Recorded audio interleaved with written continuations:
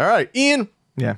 Uh, we were at uh, we had a great time at the SoCal Gaming Expo this past weekend. We did. It was a wonderful, wondrous time. It was good. It was good to be was. next to Ian, rubbing elbows with, with the folks out there. Rubbing elbows, getting down and into the the nitty gritty. Ian selling his cute little little popsicle, little uh, phone. What are they called? Phone charms. Little phone charms. Little girl, little like four year old girl. It's got one. always a four year old girl who loves my phone charms. They're adorable. They're little pops. I, I don't even know how to attach it to my phone. well, that's still. the problem. You can't attach charms to anything I anymore. was gonna can you So, attach like, it to a phone? How do you attach? I finally got these cute little phone charms made, and like I can't fucking put them on anything. How did you used to uh, attach them? There was like a little. There's like there was on the corner of old phones. There was always like a little, it's like a little bar with like an in like Okay, basically a you little could- hole. like loop it in. yeah, a little hole and then a hole, and you could loop the charm in and They hang it they off. ruined the charm industry. They did. Android and Apple. And it's just Uh, because you know, I, I, maybe there's an Android that lets you put charms on there, but I know Apple has got you know they're like "Mm, brr, brr." you can't do. That's the noise they make when they're like "brr." you can't. Oh, anyway, so Ian was selling that. We we were Yeah. we were slinging books and shirts and enamel pins and and and um, Ian had a chance to shop. It it was Ian's first convention in two and a half years. So pre-pandemic versus post, I I loved it to hear Ian's reaction to not just what he saw, but the prices of things walking around and, and how he how it sort of jolted his system, perhaps. So obviously, I, I still worked at Luna well into the the pandemic. Two locations. uh, two locations, San Diego. Great folks. Um, and so I saw a lot of the price flux. I mean, I, I, I saw what COVID did to the video game market, and I saw what COVID did to pricing. However, you know, Luna has a pretty good stock. Nothing is going to give you a complete picture outside of like just pouring over price charting, I guess. Sure. Nothing is going to give you a complete picture like going to a convention and walking around um, you know, a show floor that is just jam packed full of people selling games for every system. Yes. So, for instance, while I knew Saturn prices were crazy, um, you know, people are holding on to that stuff. So, Luna, I maybe only saw a few games come in every couple of months. Months here, I could walk to any number of booths and see boxes of Saturn games and see what they were suddenly going for. You got a much more complete and thorough picture of um, of the pricing. So yeah, I mean, what what do I say? Retro game pricing is is whew, wow. Even more than what you expected. Yeah. Um. So, you know, it was funny to see because I, I did walk. There was a couple of instances where that wasn't necessarily the case, but I'll I'll get back to that. Um. Saturn stuff, numero uno, Vonnie's favorite. Definitely, we're going to be looking at some Saturn stuff. Man, there are just like I. The amount of games that are under a hundred dollars for that system now. There's like none. There's like it's, not, it's, it's down to like. Madden 98, like based on Madden 96. or like something really really common like like uh, uh like fighting vipers you know you, uh, like a, a, a fighting game that's fun it's a non-sports game but like they really did just produce the ever-loving shit out of that one That's still So- not cheap. no it's not cheap it's like 50 bucks so um Vonnie and I are looking at the, the the the Saturn games, and she goes because she loves to buy like on the Saturn specifically, and I don't know why. She loves to buy the like licensed games, like the shitty movie games and stuff like that. She has like the Jurassic Park Lost World game.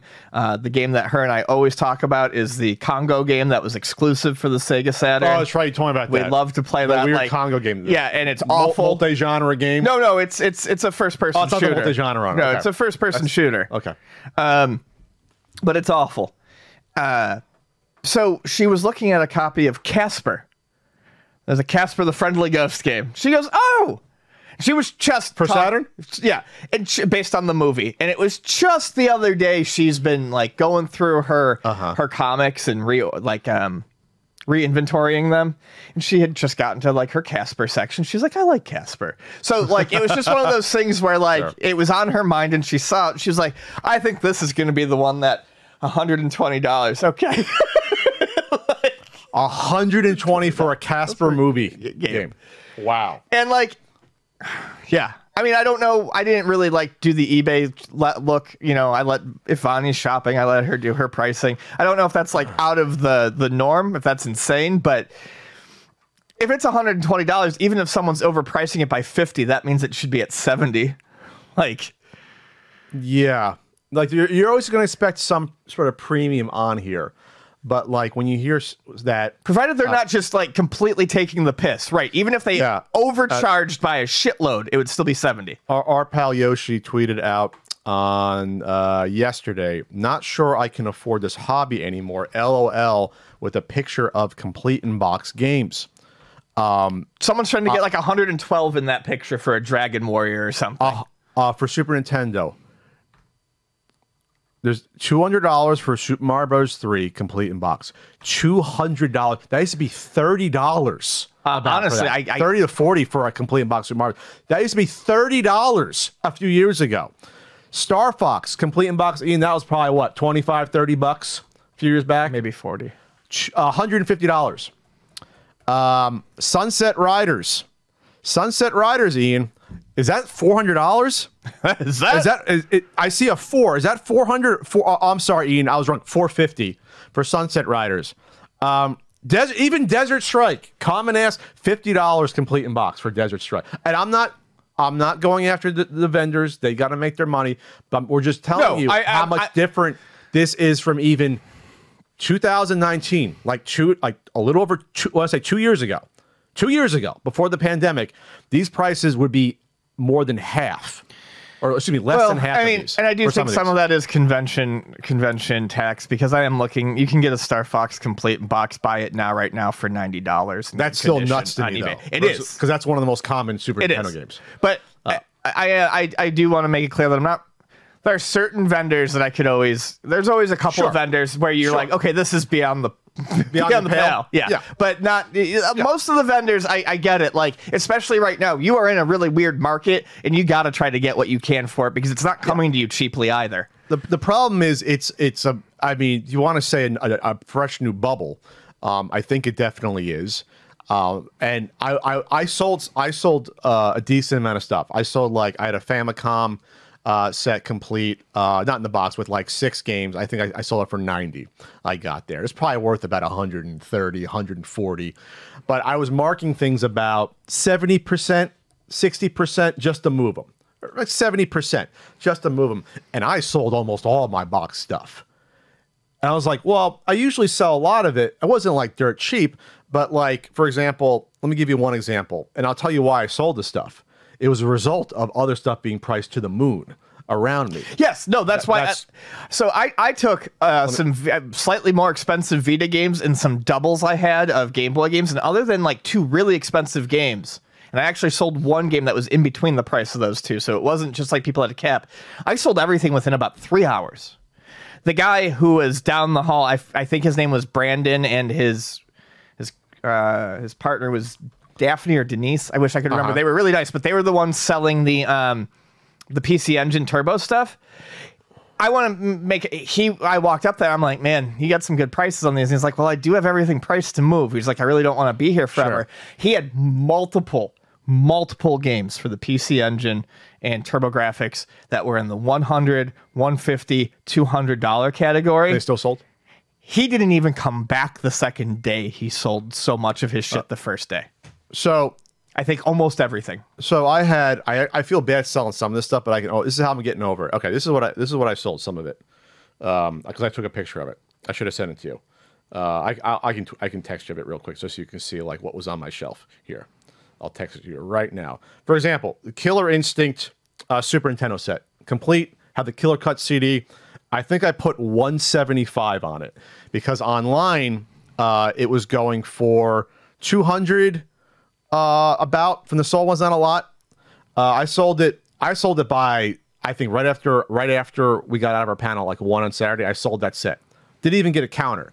I walked two rows down. Someone had uh, 500 on that Right. on that set, and and the box was in worse shape than mine.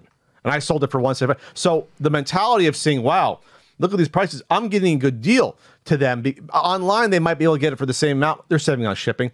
But for someone to price something that I had more than double what I had, when I was like, okay, this is reasonable, it just was mind-boggling to me. Let me let me uh, let me send you this so you can see.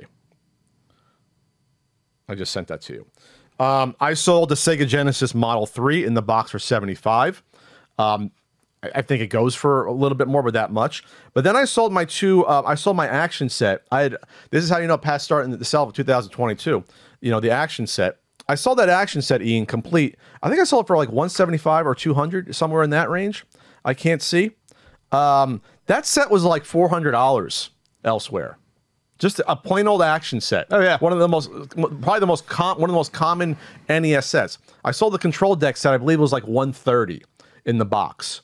The control deck set, and I didn't price that one, but I, I can imagine that being like two to 250 elsewhere on the convention floor. Um, I sold the um, Atomic Purple N64 console set. There was no Atomic Purple controller inside. I told them that I sold it for like two hundred dollars. I believe I saw that for three fifty elsewhere. So I was pricing stuff. You want to say I was I was I was I was dumb, but I I wanted to get rid of obviously, and not most of it was cash. But like, I think we're going to get to a point again where people are going to be quickly priced out again. Oh, sure. I think if if I'm selling this stuff that I think is reasonable, uh, 175, someone's trying to get four to 500 for the same sort of console. I think at some point you're going to you're going to have to see the bubbles sort of compress. Well, in a, in a, You're in gonna a- have to. in a mass market, you can you can do high price collectibles and things, but it's going to be a small group. Um, yeah, at some point, and I like I said, I understand vendors selling, but at some point in this crazy climb, the the COVID bubble, someone's going to be left holding the bag. Yes. You're either going to have a collection that is not worth nearly as much as you paid for it, or you're never going to be able to get rid of the shit at the price that you want to. One of those two people, uh, one of those two things is going to happen from a collector or a, a- a shop standpoint. And um, yeah, I mean, at some point, people will just say no, Yeah. no, I can't. And then some like Absolutely not. I, I can't. I just priced games I had in the garage. Like I had like a Kid Icarus on Game Boy. Um, I, I think I sold for 20 bucks. I think it's worth like 30 to 35. And actually, one of the score chasers guys, the guy who won Dr. Mar, he bought that. The stuff, most of my stuff moved by Saturday. Ian's too, but like most of my stuff was gone. I had the whole side table. It was almost nothing. You saw by Sunday afternoon. Yeah, I had nothing. I even sold. I even sold my sealed DS. I had a sealed like uh, uh Showtime boxing. I sold for three dollars, and like uh, was it Silly Bands? Sold for five bucks.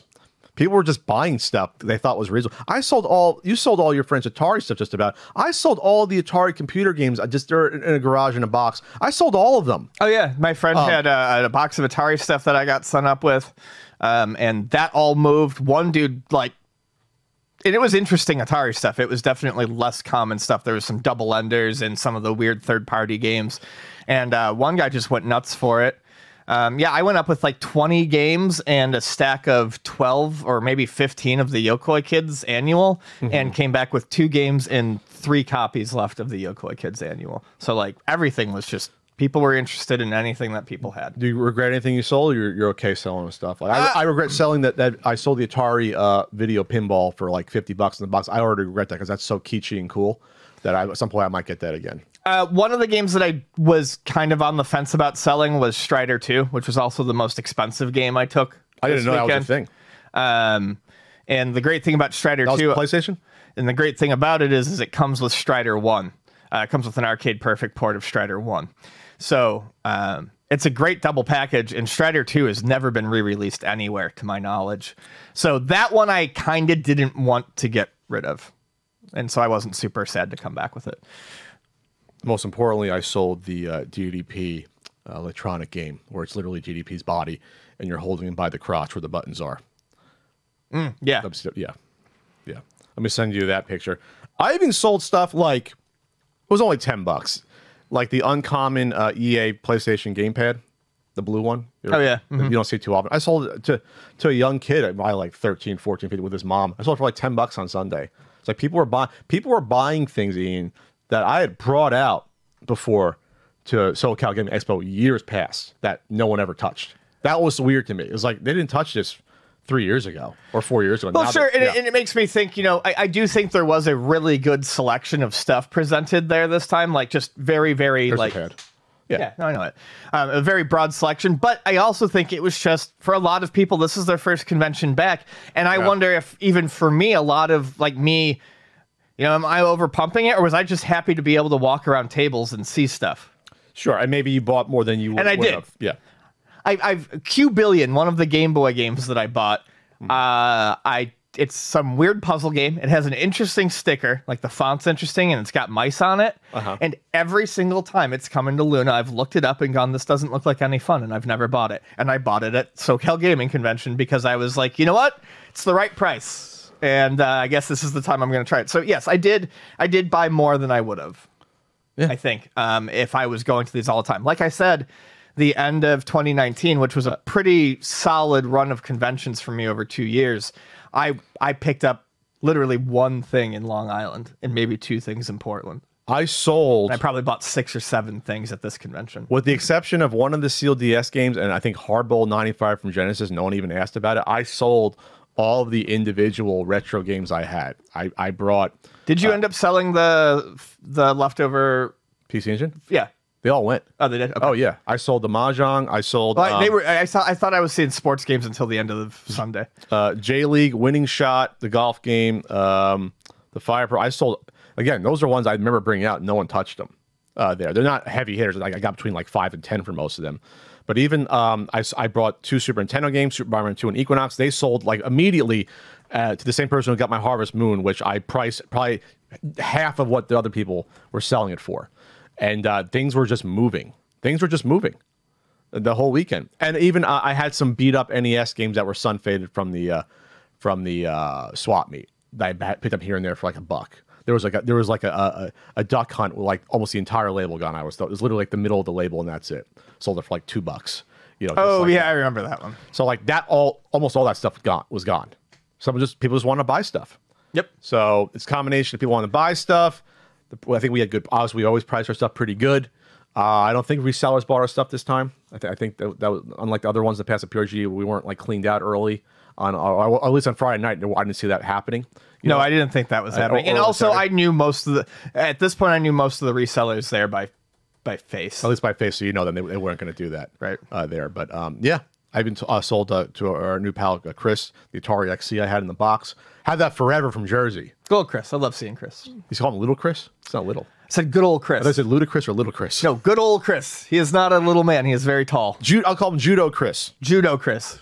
judo expert. Yeah. This is, you think he's got like a switch on his back you can flip to make him grip? He's got the, the grip. Oh, that's kung, Kung fu, Fu grip. Kung fu grip. Ian. Kung Fu grip. Sorry. Close. That was that was the GI Joe well, I know. Yeah, but I'm, I'm just I'm, I'm saying he could hands. he could he could introduce. Oh, he probably, he's got a firm grip. Probably, absolutely can do that. All right. Well, the next one uh, I'm going to be at, I believe. I, I shouldn't say until I'm officially, officially, officially booked, but it's going to be probably end of April. I think. I'm interested to see it now how it is different parts of the country this year, in terms of, of the buying patterns and prices. That's always interesting to see that. But uh, you know, I think uh, I think for at least this year, until we're like knock on wood oh, out of the pandemic, which hopefully happens by the end of the year. But I'm going to keep knocking on wood.